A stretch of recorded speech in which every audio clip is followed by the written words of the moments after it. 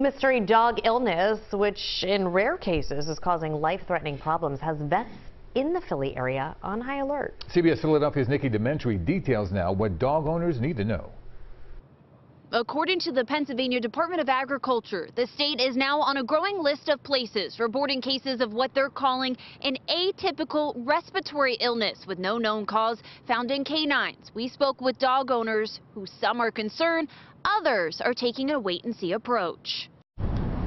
I'm keeping him out of the dog park for a while until it blows over. Marcelo Sanchez is keeping his 10-month-old Malinois Tyson away from other dogs after learning of the respiratory illness. His advice to others is heartfelt. I would just tell people to be careful and like limit their dog's exposure with other dogs, strange dogs.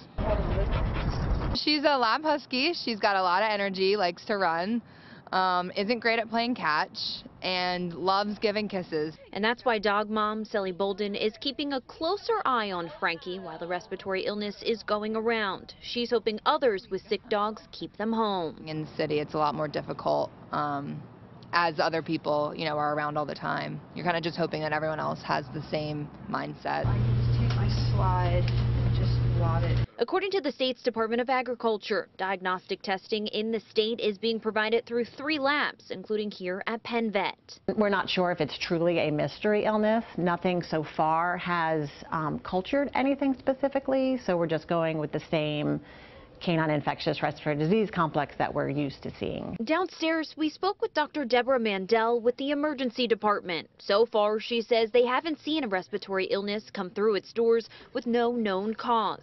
Still, experts are encouraging dog owners to take precautions, including avoiding large gatherings, other sick dogs, and using public water bowls. Many, many institutions are doing studies to try to make sure that it's nothing we have to be more concerned about. If your dog exhibits any of these symptoms, it's best to have them see a vet.